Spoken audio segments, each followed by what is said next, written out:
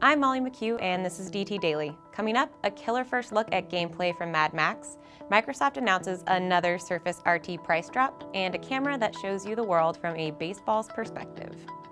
At E3, we saw a CGI view of Avalanche's vision for the brutal world of Mad Max. It left us, of course, wanting more, and now we get it.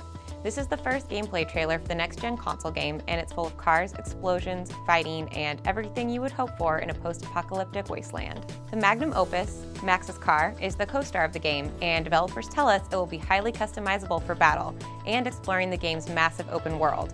Mad Max has been in development for nearly two years, and Avalanche plans on an early 2014 release date, possibly coinciding with the Warner Brothers release of the fourth movie in the Mad Max saga, Fury Road. We're not sure if it's desperation, but it's surely not a sign of success. Microsoft has announced another price drop for its Surface RT tablet. This time, it's an across-the-board 30% slashing, bringing the price down to $350 for the 32GB entry-level tablet. This follows promotions aimed at educational institutions, as well as a free touch or type cover giveaway.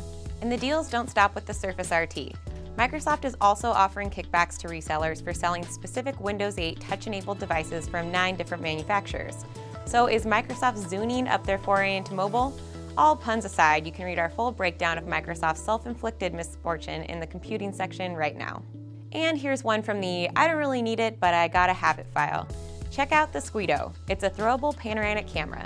You just throw it up in the air or roll it down the street, and it captures 360 degree panoramic images. It uses three high-speed cameras and an orientation sensor to stabilize for spin and roll.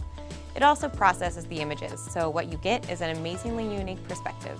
The Squito is rated for multiple high-G impacts, so you could presumably throw this thing just about anywhere. And with the addition of infrared or low-light cameras, this could be a valuable tool in search and rescue situations. The Squito is only a prototype right now, and there's no word on when we can expect a consumer-ready product. But we're hoping it's sooner rather than later. And that's DT Daily for today. We'll see you tomorrow.